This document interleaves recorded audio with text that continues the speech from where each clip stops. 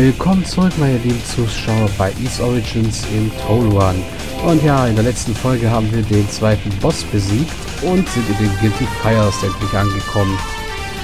Einen meiner Lieblingsgebiete. Und das nicht nur wegen der Musik, auch finde ich die Gegner jetzt ziemlich lustig. Feuerhühnchen. Jupp.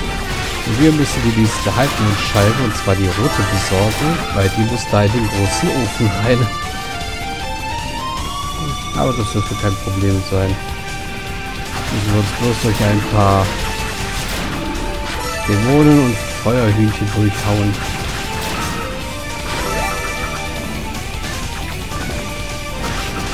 Und Feuerhühnchen spuckende komische Viecher.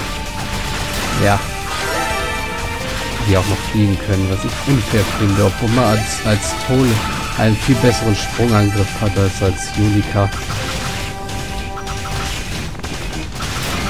Nur mit dem zu treffen ist halt nicht immer das leichteste.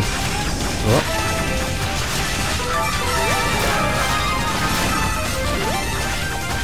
Ah, ich mag die Musik der Guilty Fires. Und ich mag es arme kleine Feuerküken. Naja, so arm sind die eigentlich nicht. Nachher kommt die Rache, wenn die lilanen Explosionsküken kommen. Das stelle ich mir auch so heftig vor erste Taktik, wenn die Dämonen angreifen, sie schicken eine Horde von diesen Hühnchen, dass sie explodieren. Ah ja. Und da ist schon der Raum.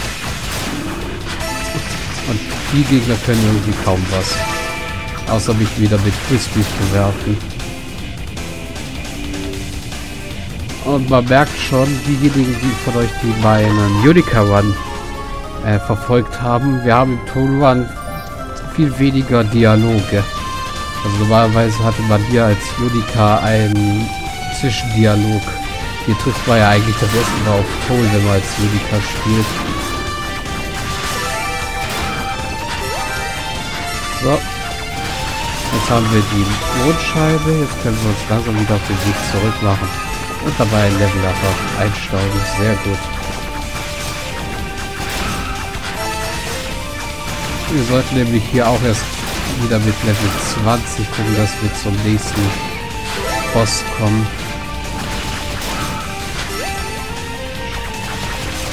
Du wolltest fliehen? Du fließt nicht. Gut. Ach, wir können den ja teilweise sogar treffen, wenn wir am Boden sind. Kaum stirbt. Auch wenn du immer wieder die Viecher hier spawns. Stirbt trotzdem. So.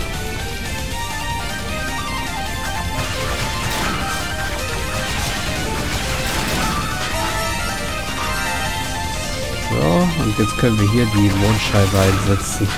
Vor dem riesengroßen Heizofen. Ich frage wie kalt die untersten Stockwerke sein müssen, wenn der Ofen erst hier steht. Na gut. Wir haben die rote Mondscheibe in den Altar gesetzt und dafür geht jetzt hier die Plattform runter, über die wir weiter können. Sehr gut.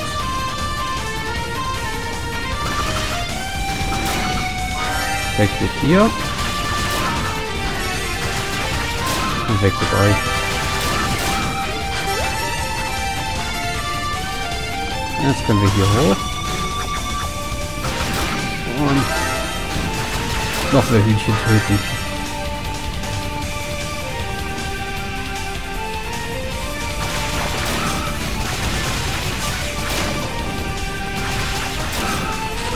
Oh, die Stelle da sieht neu aus. Ja, die ist auch neu. Ich weiß, dass die neu ist. Das mit den Stacheln gibt es nur Run, soweit ich weiß.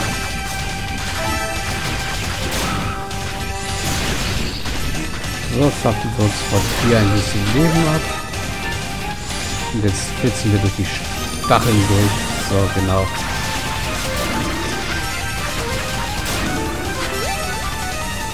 Und was haben wir in der Truhe Schönes? Eine Roderfrucht. Sehr schön. Ah ja.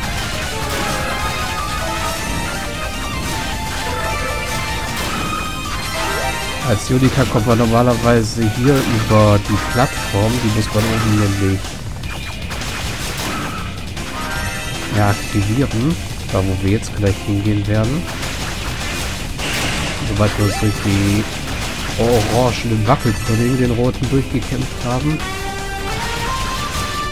Das sind irgendwie die seltsamsten Gegner. Irgendwelche komischen Blobs, die eigentlich viel machen, außer sich teilen und verhauen lassen. Meine, Schaden machen sie kaum welchen. Sie teilen sich halt nur auf und geben mir dadurch nur noch mehr SP-Kristalle. Genau, hier drüben, hier meine ich nämlich.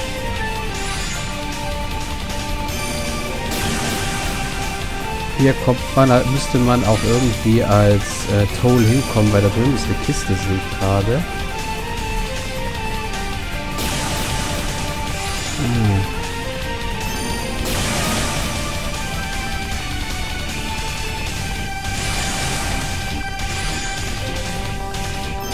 Nur die Frage halt, wie man da hinkommt.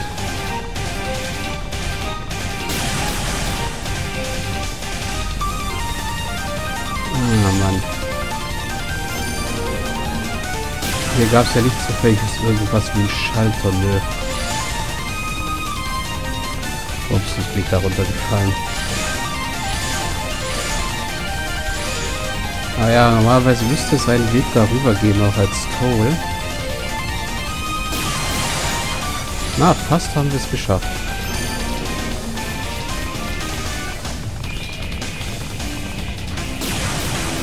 Das war zu spät.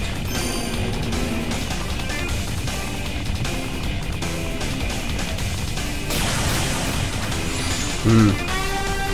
Ich probiere das jetzt noch ein paar Mal, auch wenn es vielleicht langweilig wird, aber ich will an die Kiste da ran. Ja, springen sollte man auch können, machen tun dabei.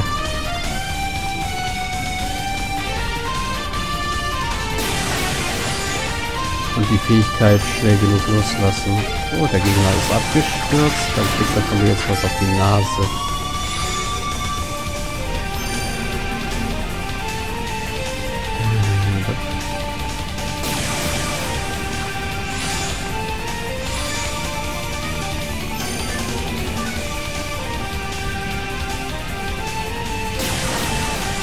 Nein.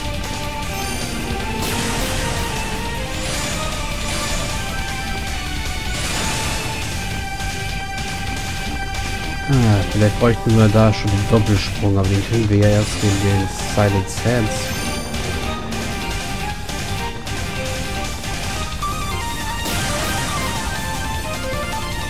Hm.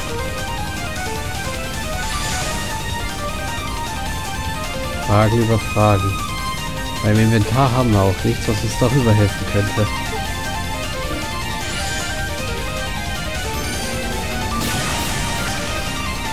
Nein, da oben ist nur der Gegner. Ich versuche jetzt noch zwei, drei Mal und dann gehen wir weiter.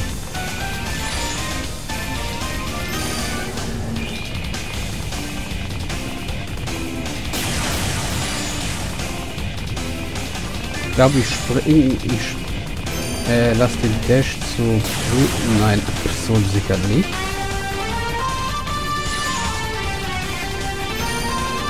Was passiert, wenn ich Na komm, Steuerung.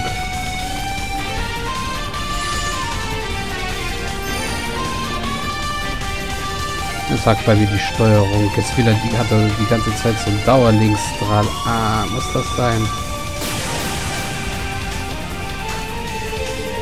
Genau das.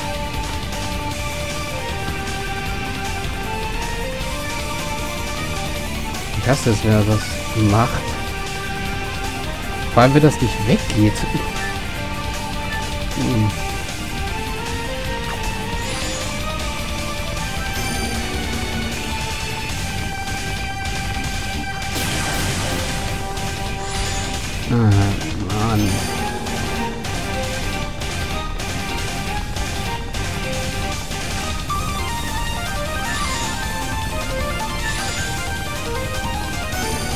Okay, letzter Versuch. Fast geschafft.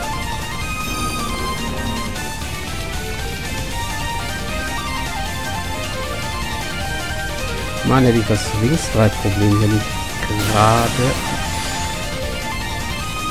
Würde das vielleicht viel besser laufen.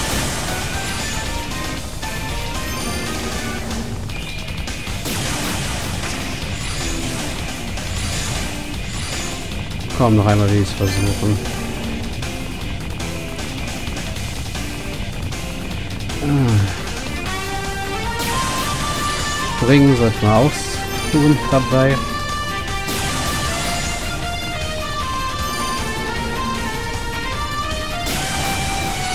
Erst springen, dann loslassen.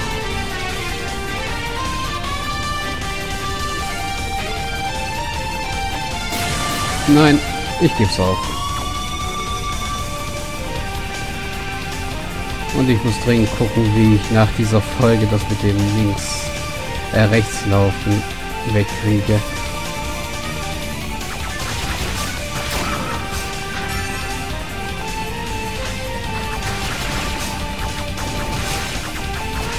Und gerade hier dürfte das nervig sein.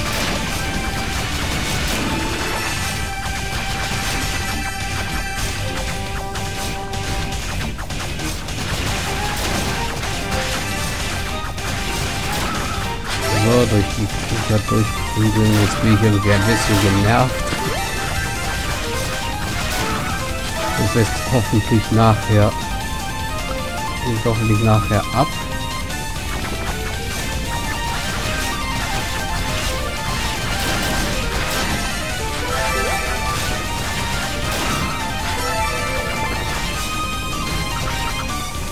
Wisst ihr was? Ich werde das mit dem Springen nachher nochmal offscreen versuchen.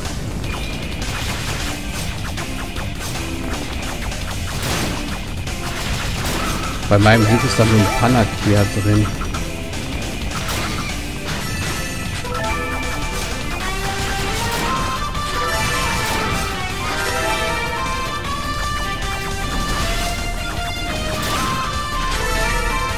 So. War hier hinten eine Truhe? Nein, hier war keine Truhe. Ah, hopp. So.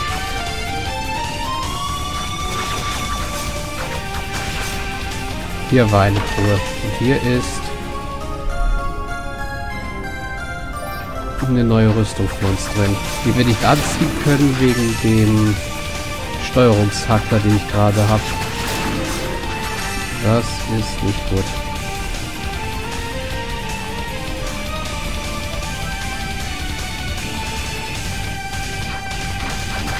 So,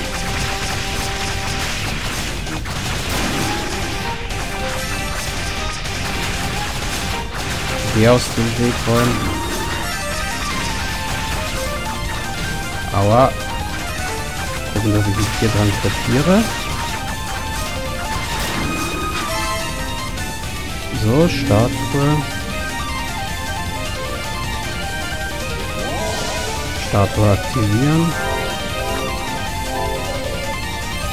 Speichern. Suchen.